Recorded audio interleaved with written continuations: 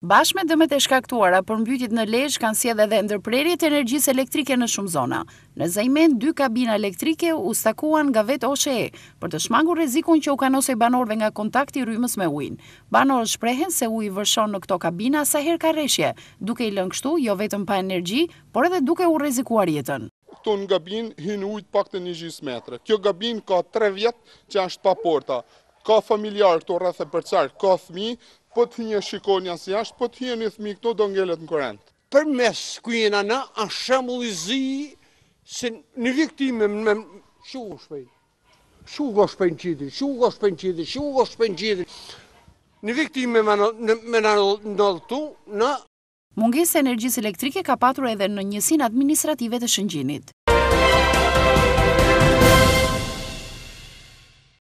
Largimi i ujit në zonat e përmbytura të Lezhës ka lënë pas baltën dhe inertet e pafundme, të cilat kanë detyruar shërbimin zjarrfikës të nisë pastrimin e tyre në shkollat publike të qytetit.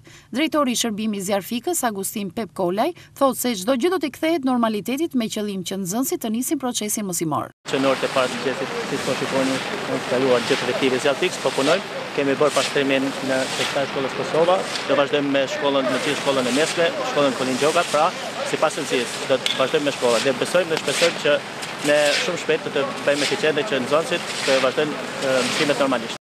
I njëjti proces pune po kryhet edhe në mjediset publike të qytetit nga ana e bashkisë, pasi thuajse të gjitha lagjet u zhytën në ujë.